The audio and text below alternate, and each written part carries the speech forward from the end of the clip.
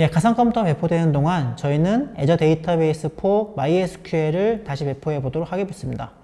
리소스 만들기를 클릭해 주시고요.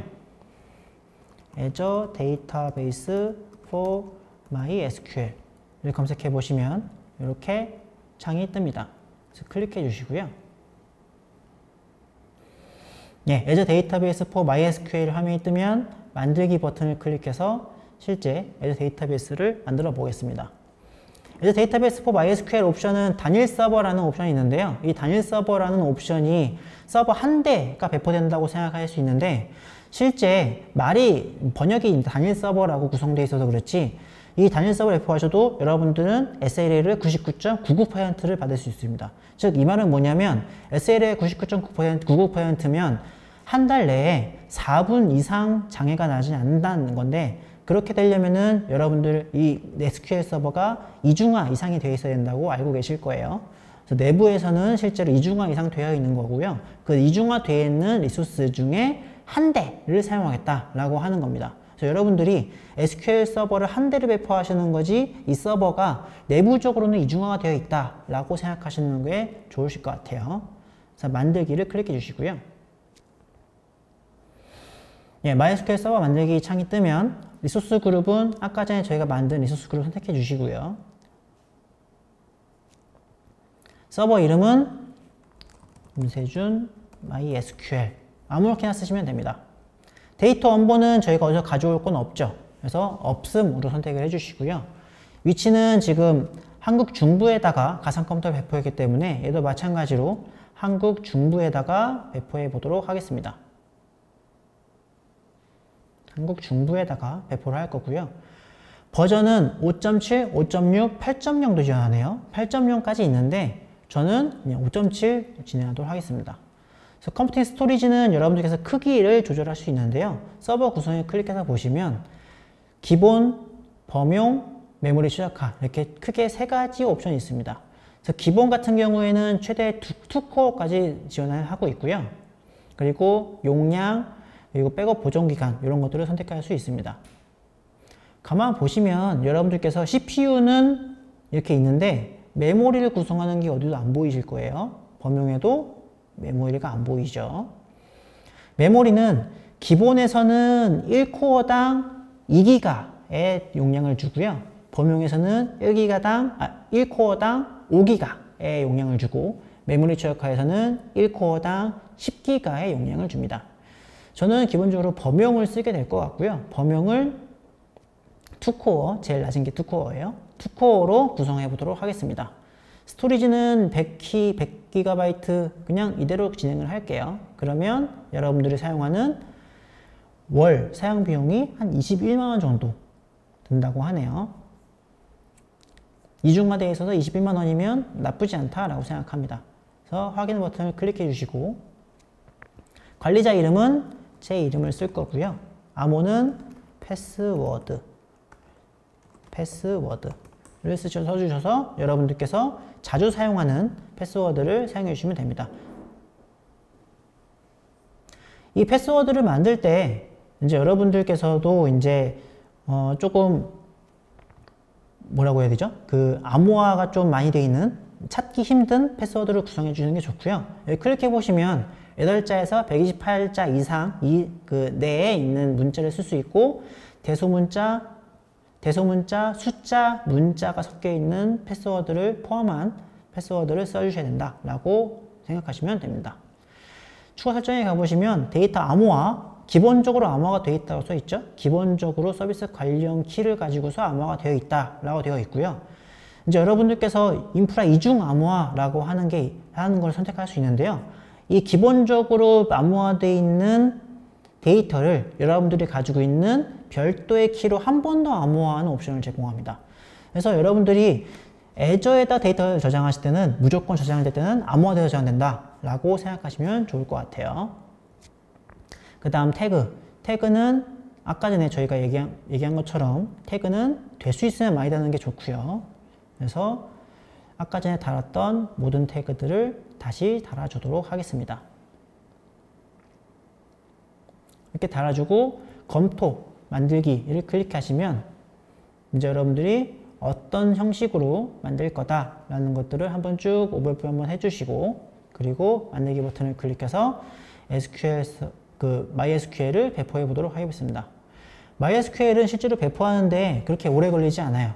한 1분 이내면 MySQL을 배포하실 수 있으실 겁니다. 예, 배포가 완료됐습니다. SQL, MySQL 한번 들어서 볼게요. MySQL에 여러분들께서 이제 그 워드프레스에 MySQL을 연결해 주셔야 되니까 이제 이런 것들을 메모를 하나 해 주셔야 돼요. 그래서 메모를 해 보겠습니다. SQL 서버 이름 메모해 주시고요.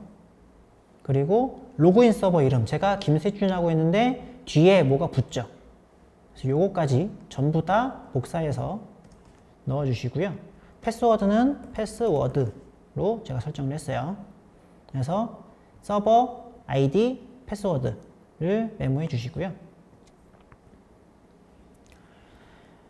예, 한번 MySQL 옵션 잠깐 볼까요? 연결 옵션을 클릭해 보시면 뭐 public access는 당연히 거부돼 있고 방화벽 규칙 뭐 이런 것들이 있네요.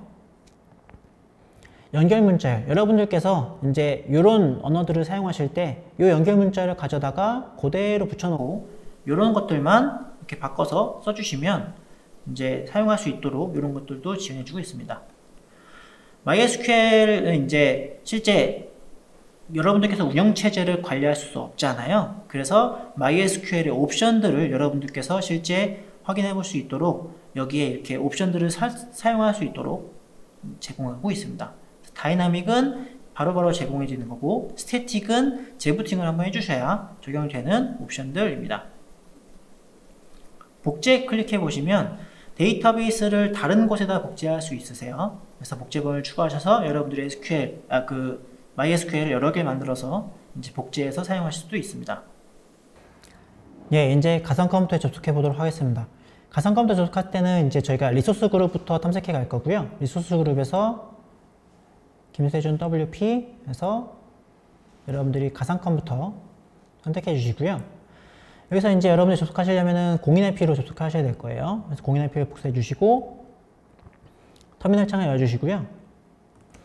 저희가 아까 SSH 키를 다운로드 받았어요. 그래서 SSH 키를 다운로드 받은 거를 확인해 주시고 그래서 SSH라는 명령을 사용해서 접속을 해봅니다. 아이디는 김세준이었고요. IP를 넣어서 연결해 보시면 이렇게 서버에 접속되는 것을 확인해 보실 수 있으십니다. 제가 이제 실제로 워드프레스를 설치를 해놨다고 했잖아요. 그래서 서, 설치되어 있는 거는 바 밑에 www 밑에 html이라는 폴더 내에다가 설치를 해놨고요. 여기에 sudo nano 명령을 사용해서 wp-config.php 파일을 수정해 보도록 하겠습니다. 이 파일을 수정할 때 이제 밑에 보시면 데이터베이스는 WordPress DB라는 데이터베이스를 사용하게 될 거고요. 사용자 이름은 username이라 되어 있는데 username이 아니고 아까 저희가 복사해 놓은 계정으로 붙여 넣어 줍니다. 패스워드는 패스워드 제가 패스워드 이렇게 썼었고요. 그리고 서버 이름은 localhost가 아니고 김세준 mysql.mysql.database.azure.com 이라고 하는 도메인으로 접속을 하게 될 겁니다. 그래서 파일을 저장해 주시고요. 그리고 이제 저희가 WordPress DB라는 데이터베이스 접근할 거기 때문에 MySQL 명령어를 써서 데이터베이스를 만들어 주도록 하겠습니다. 그래서 MySQL 서버에 접속해 주시고 사용자 이름은 김세준 at 김세준 SQL이고요. 패스워드는 패스워드 아이고 패스워드 로 쳐보시면 이렇게 연결이 되지 않는다 라고 나와요. 그죠? 연결이 왜 안 될까요? 연결은 당연히 안 되는 게 맞아요. 실제 저희가 MySQL을 다시 한번 가볼게요. MySQL의 연결 번호를 보시면 지금 public access가 아니오로 되어 있어요. 그래서 어디서든 지금 이 MySQL은 접근할 수 없는 상황이고요. 여러분들이 MySQL에 접속할 수 있는 방법은 크게 두 가지가 있는데 공인 IP를 사용해서 public하게 접근하는 것과 그리고 endpoint나 private 같은 걸 사용해서 사설 네트워크 같이 접근할 수 있도록 에뮬레이션 해주는 건데 public IP로 접근하고 싶으신 분들은 없으실 거잖아요 SQL을 그래서 여기서는 네트워크를 추가해서 특정 subnet만 접근할 수 있도록 구성해 주겠습니다 그래서 그림을 보면 이 그림이 아니고 이렇게 endpoint를 추가해서 데이터베이스 접근하겠다라는 걸로 그림이 바뀌게 될 것 같습니다. 자, 규칙을 추가해 볼게요. 기존 가상네트워크 규칙 추가 중을 클릭해 주시고요. 이름은 임세준 connect으로 만들어 주고요. 구독은 아까 저희가 만든 구독을 선택해 주시고 가상 네트워크는 만들어져 있는 가상 네트워크를 선택해 줍니다. 저희는 subnet 1에다가 만들었으니까 subnet 1을 선택해 주시고요. 밑에 체크 박스에 체크해 주시면 여러분들이 가상 네트워크에 가서 endpoint 설정을 다시 해 주셔야 돼요. 그래서 지금은 그냥 사용을 클릭해 주시면 이제 가상 네트워크는 알아서 선택해 주, 그, 요 endpoint 설정을 사용으로 자동으로 바꿔주고요. 이렇게 subnet 1에다가 설정을 하면 이제 subnet 1에다가 그 Azure Database for MySQL과 연결할 때 endpoint라는 설정을 이용해서 사설로 연결할 수 있는 옵션이 활성화되게 됩니다. 저장되는 데는 그렇게 오래 걸리지는 않습니다. 예, 연결이 설정이 됐고요. 이렇게 되면 이제 이런 이름으로 서브넷 1에다가 연결이 되어 있는 것을 확인하실 수 있습니다. 자, 그러면 다시 콘솔로 들어와서 같은 명령을 다시 쳐보도록 하겠습니다. 예, 그럼 접속되는 게 보이시죠? 그러면 여기서 저희가 데이터베이스를 만들 거니까요. 데이터베이스를 만들어 줄 수 있는 명령어를 실행해 주겠습니다. 그래서 create database에서 WordPress db를 선택해 주시고요. 여기는 뭐 옵션들은 뭐 알아서 설정해 주시면 됐고요. 그리고 flush하고 데이터베이스를 나옵니다. 자, 그리고 이제 다 왔어요. 가상머신에 접속하셔서 실제 공인 IP 주소로 접근을 해보도록 하겠습니다. 그래서 공인 IP 주소 접근을 해보시면 실제 WordPress 페이지가 정상적으로 뜨는 것을 확인할 수 있으십니다. 간단하게 초기화를 해줄게요. 한국어로 선택해 주고요.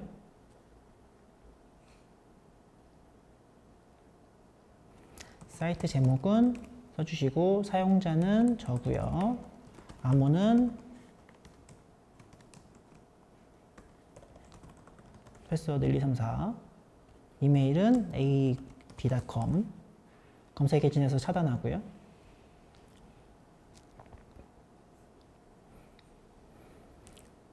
이렇게 하시면 WordPress가 정상적으로 설치된 것을 확인할 수 있습니다. 그래서 페이지 가주시면 안녕하세요 라고 하면서 실제 WordPress가 떠 있는 것을 확인하실 수 있으십니다. 예, 그래서 저희가 만든 것은 이렇게 되죠. 사용자가 공인 IP를 타고 들어오면 가상 컴퓨터에 설치된 WordPress가 응답을 하게 될 거고요. 이 가상 컴퓨터는 Azure Database for MySQL과 endpoint 설정을 이용해서 사설 네트워크처럼 연결을 할 수 있는 옵션까지 추가해 봤습니다.